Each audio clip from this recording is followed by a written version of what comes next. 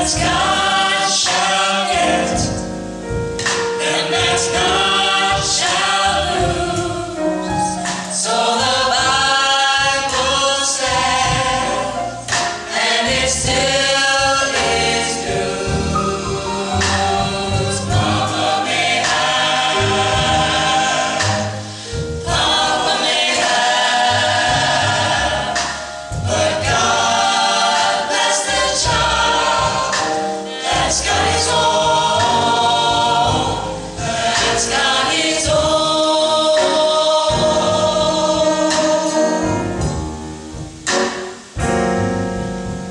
Yes, the strong.